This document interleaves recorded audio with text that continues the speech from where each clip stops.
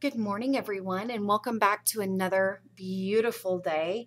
Today, we're going to be looking at the difference between expanded form and expanded notation. And with expanded notation, we're going to be looking at decimals and fractions. Now, if you remember back to the first video that you watched, you would remember that you do have this foldable that you created. Um, and in that foldable, you have the breakdown for the decimals in expand in standard form, expanded um, and um, standard form, expanded notation for decimals, and expanded notation for fractions. So don't forget that you have this as a resource if you need it. All right. So the first thing we're going to do is we are going to look at a specific number. And I almost forgot. There goes my camera for a second. We're going to break down a basic number and look at how it looks in standard form, expanded form, expanded notation with decimals, and expanded notation with fractions. So the number that I have is 341 and 627 thousandths. Okay, so step by step, expanded form. I need to know what the value of this 3 is. Well, I have 300, so 3 times 100 is 300. The value of this 4, it's 4 tens, so 4 times 10 is 40. I have 1 1. 1 times 1 is 1. Now, 6 tenths. I have 6 tenths, so 6 times a tenth is decimal 6. 2 times a hundredth is two hundredths, which is decimal 0, 2. And thousandths, 7 times one thousandth is decimal 0, 0, 7. Okay. So now we need to look at expanded notation with decimals. Now, expanded notation is when you are taking each of these pieces and you are creating an equation that equals your original number. So how did I find the value of this 3? Well, I multiplied 3 times 100. I'm going to need to add it to how I found the value of the 4, which I multiplied 4 times 10. Add that to 1 times 1 added to 6 times 1 tenth added to 2 times 1 hundredth added to 7 times 1 thousandth. If you multiplied 3 times 100, you would get 300. 4 times 10 is 40. 1 times 1 is 1. 6 times 1 tenth is decimal is 6 tenths. 2 times 1 hundredth is 2 hundredths. 7 times 1 thousandth is 7 thousandths. So now we have expanded notation in de with decimals. Now we need to look at this with fractions. Well, there's really no fraction for your whole number, so they're going to stay 3 times 100 plus 4 times 10 plus 1 times 1 plus, now this is when we're getting into our fractions.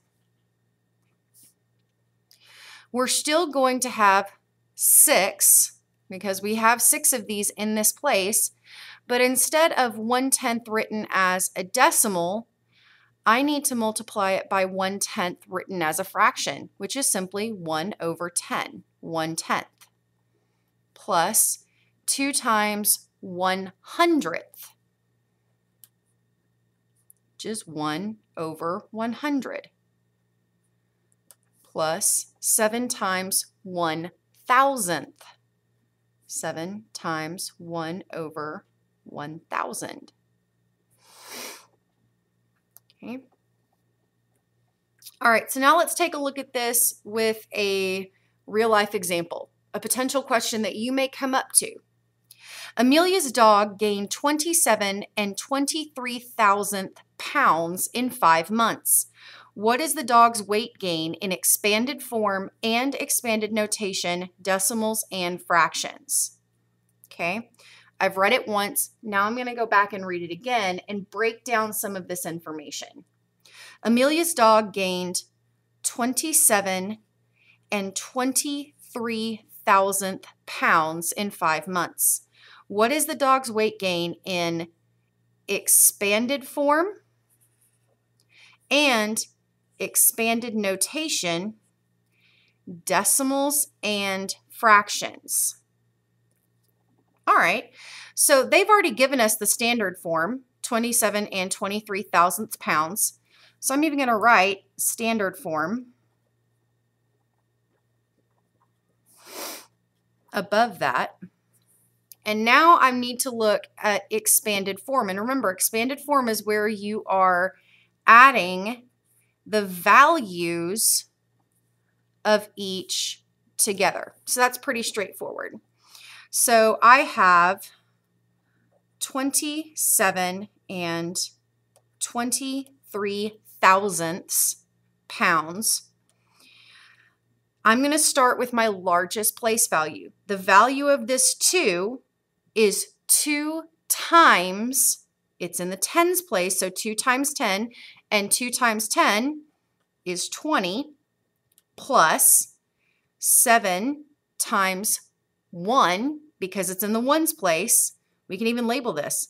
Hun or sorry. Tens, ones, tenths, hundredths, thousandths. So 2 times 10 is 20.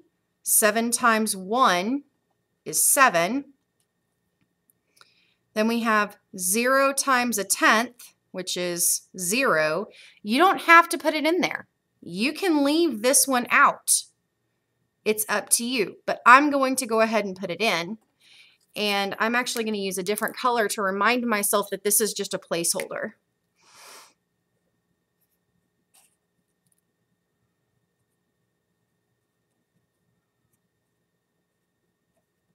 Okay, so there's my placeholder, which 0 times a tenth is still zero because anything times zero is zero.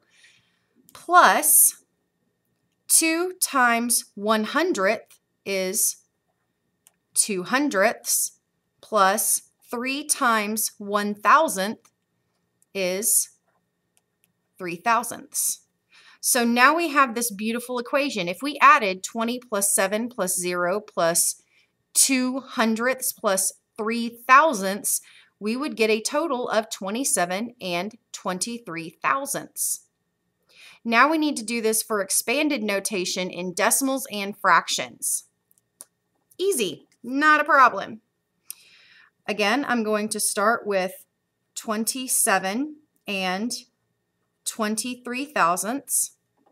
And remember, when you're looking at expanded notation, you're figuring out what computation you are needing to do to find the value.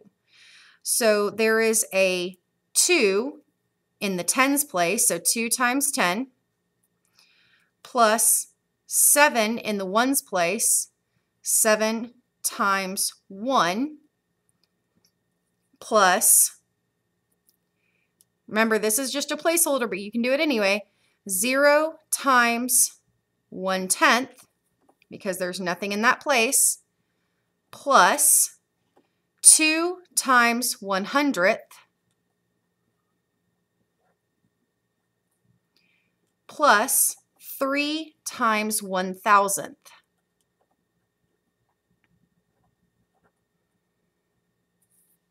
So now we're just decomposing this. How did we come up with the value of 20? Well, it was 2 times 10. How did we come up with the value of 7? 7 times 1. All the way down. So we've done it with our decimals. Now we need to do it with fractions. 27 and 23 thousandths. And remember, just like when we looked up here, our whole numbers, the ones to the left of the decimal, are going to be exactly the same. So we can just copy this down. 2 times 10 plus 7 times 1. Oop. Now we're getting into where we had decimals before, and now we need to change this to fractions. I have 0 tenths, so I'm multiplying 0 times 1 tenth plus 2 times 1 hundredth plus 3 times 1 thousandth. And there we have it. We have written the weight gain of Amelia's dog in expanded form, in expanded notation with decimals, and expanded notation with fractions. Okay. When you come across problems that say they give you a number and they say which of the following is this number in expanded form or expanded notation, you need to write out that number yourself in that form and then compare. Don't just go, oh, well, I know it, and choose the first one that you think is probably the best answer, because I can guarantee you there's going to be something in that answer that will have tricked you. Every time you work out these problems, I expect to see you writing out the form. That is your proof. That is your work to show me. Okay. Thank you guys so much for joining me today. I look forward to seeing you next time.